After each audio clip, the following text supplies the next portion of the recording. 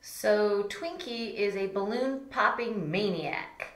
Uh, I believe he was a Jack Russell Terrier, and based on the first video that we saw, it took him five seconds to pop 25 balloons. And using that baseline, we're going to figure out about how long do we think it's going to take him to take down all 100 balloons. So if we start off with, we have a couple different options. One, we can use the proportional method and saying it takes five seconds to pop 25 balloons. So how many seconds is it going to take to pop 100? I could cross multiply. 5 times 100 is 500. And 25 times x is going to be 25x.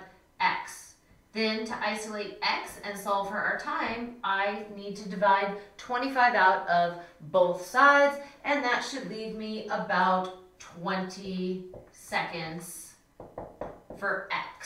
Okay, so we're going to assume if Twinkie keeps up at that speed, he's going to be able to take down all those balloons in 20 seconds. Another way we could have done this is said, well, if he pops 25 balloons in 5 seconds, that means he pops 5 balloons every 1 second. So how long would it take him to pop 100 balloons? So 5 times what gets us 100? It's 20. So we take and we multiply the second by 20 to find out 20 seconds and he can pop 100 balloons. So the equivalent fractions, reducing whatever, uh, it all works. You could have even just kept it with the 25 over 5. And how many 25s are in 100? There's four of them. So we need five, uh, four sets of five as well again to get 20.